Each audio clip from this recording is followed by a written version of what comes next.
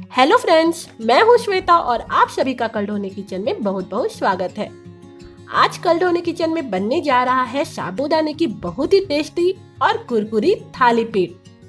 Friends, आप इसे व्रत के साथ ही साथ, आप इसे जब आपको कुछ कुरकुरा और अलग खाने का मन हो तो आप इसे बना सकते हैं। तो चलिए, बिना वक्त जाया करते हुए हम इस रेसिपी को देख लेते हैं। तो यहाँ पे मैंने लिया है एक कटोरी भीगा हुआ साबुदाना।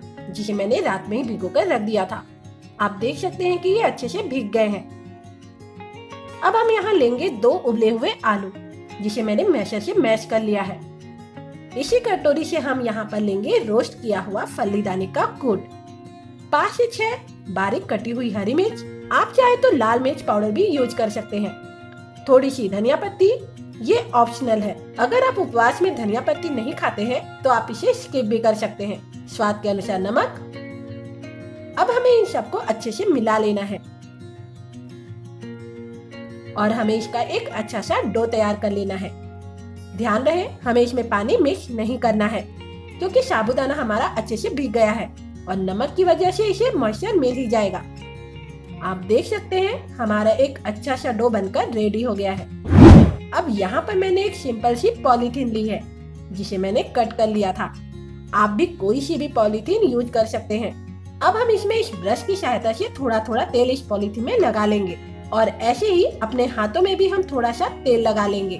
क्योंकि साबुदाना थोड़ा सा चिपचिपा होता है तो अगर आप हाथों में तेल लगाएँगे तो जब आप इसे अपने हाथों में लेंगे तो वो आपके हाथों में चिपकेंगे नहीं। अब हमें जो हमारा डो है ना, उसके छोटे छोटे बॉल्स लेने हैं और उसे राउंड करते हुए हाथों से प्रेस करते जाना है। और अब इसे पॉलिथीन में रख दीजिए और थोड़ा थोड़ा करके हाथों से इसे दबाइए। और गोल शेप दे दीजिए। जितना हो सके आप इसे दबाते जाइए। और अब ये जो पॉलिथीन की दूसरी साइड है, अब हमें इसके ऊपर रखना है। और एक बार फिर से इसे हमें हाथों से अच्छे से दबा लेना है। आप चाहे तो इसे जितना चाहे पतला कर सकते हैं। हमें बस इसे हल्के हाथों से शेप देते हुए दबाते जाना है। ये देखिए इस तरह से।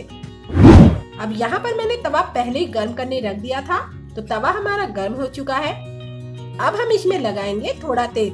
और इसमें डाल देंगे हमारी ये साबुदाना की थाली पेट अब हम इसके किनारों में भी थोड़ा थोड़ा तेल डाल देंगे। और दो मिनट तक पकने दे। ये देखिए, एक साइड से ये पक चुका है, अब इसे हम पलट देंगे। वाओ! आप देख सकते हैं, ये वन साइड से कितना अच्छा पक चुका है। अब हमें इसमें थोड़ा तेल और छिड़कना है, ताकि दूसरी साइड से भी ये अच्छे से पक जाए। ये देखिए फ्रेंड्स, हमारी थाली पेट दिख रही है ना टेस्टी और ज़बरदस्त। अब इसी तरह हम बाकी के भी थाली पेट बना लेंगे।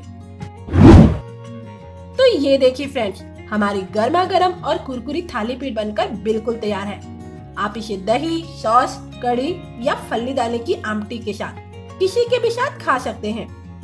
ये देखने में जितनी अच्छी दिख रही है ना, खाने में भी उतनी ही टेस्टी है। आप इसे व्रत के साथ साथ बिना व्रत के भी नाश्ते में भी बना सकते हैं।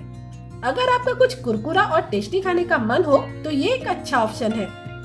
तो फ्रेंड्स आपको आज की हमारी ये रेसिपी कैसी लगी मुझे कमेंट करके ज़रूर बताएँ, ताकि ऐसी नई नई रेसिपी मैं आपके लिए लाती रहूँ।